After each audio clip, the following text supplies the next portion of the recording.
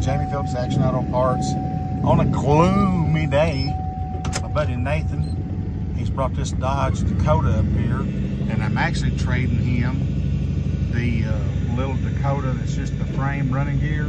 He's got a body that he wants to put on that and make a mud toy or something out of. So he uh, he said, I found this truck I can buy right and uh, do some trading with you. And I said, well, yeah that suits me. The only thing is I don't get to keep the tires and the wheels. So he's got, that's why I'm gonna try to get him up here on the hill and uh, put it on what's becoming the new uh, front row. If he can get up here, see four-wheel drive has been acting up a little bit. So we'll find out. So uh, we got the truck off of the trailer I took in trade from Nathan. Of course, me and his dad and him sit up there talking forever. They're great guys. Uh, so he brought a battery to throw on that little old Dakota with no body or nothing on it.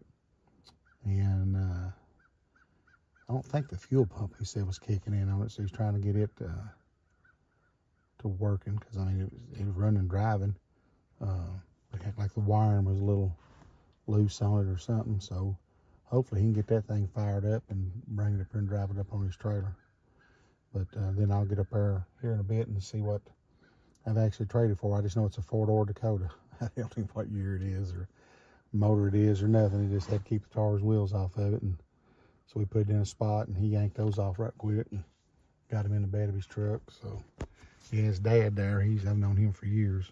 and I was glad to see him come up here with him. But uh, hopefully he'll get that thing to fire up here in a minute. And, I'll try to grab a little more footage of him getting it up on his trailer. A few moments later. Well, he he put his battery on it and the fuel pump wasn't kicking on. So he fixed the wire, but still don't act like it's kicking on. So he's just gonna go on and load it with the winch. But he put some gas in the top side and it fired up. I mean, he knows it runs, but uh, unfortunately, I guess the fuel pump's not acting right. So he said, I get it home, I'll have it running.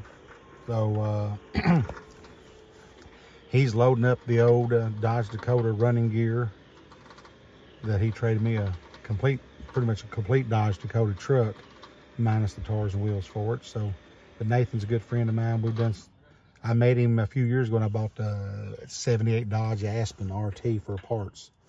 And ever since then, we've been doing some trading and he'll come and buy parts from me and what have you. So I hope he has fun with this one uh, give me a thumbs up, leave that comment, and subscribe. And I'll catch you all in the next one.